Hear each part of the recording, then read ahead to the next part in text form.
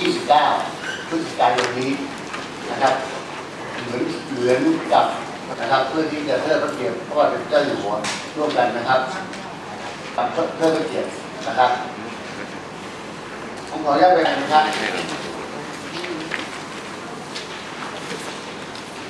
ไม่มีนะครับ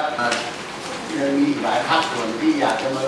มีส่วนร่วมเพื่อเทิดพระเกียรติพระบาทสมเด็จเจ้าอยู่หัวฉะนั้นก็หาไฮไลท์ก็ตรงเนี้ย เอา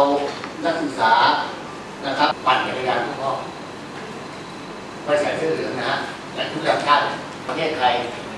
ก็ร่วมปั่นเทิดพระเกียรติพระบาทสมเด็จเจ้าอยู่หัวคนไทยทั้งประเทศนะครับทีนี้เดี๋ยวผมขออนุญาตเกรินนำที่นี้ก่อนแล้วเดี๋ยวครับ มันจะมีรายละเอียดคำสั่งนะครับคณะทำงานปรับใหม่แล้วนะครับ แล้วก็คณะกรรมการจัดสถานที่ก็จะมี ถามเลยใช่ไหมว่ามีปัญหาอะไรไหมยังไงที่มอบหมายมัน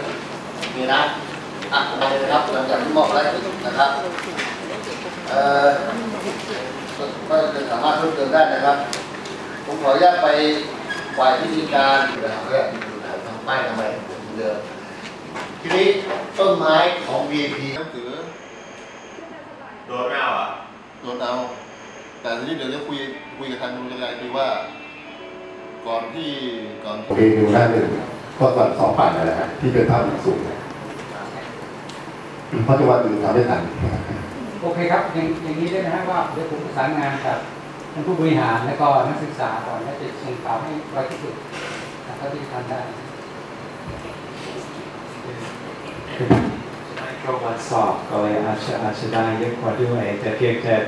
จักรยานมีไม่พร้อมนะครับ แล้วก็เราอาจจะต้องขอความช่วยเหลือในเรื่องนี้นะครับคุณพิชัย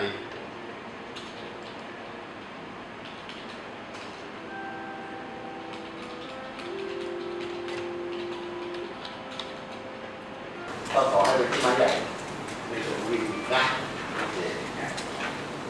เรื่องต่างๆก็ทางน้อยตัวแทนเอ่อพลเรือนทหารตำรวจวันหรือเปล่าครับ แล้วว่าตอนนั้นน่ะทำงานทำราชการ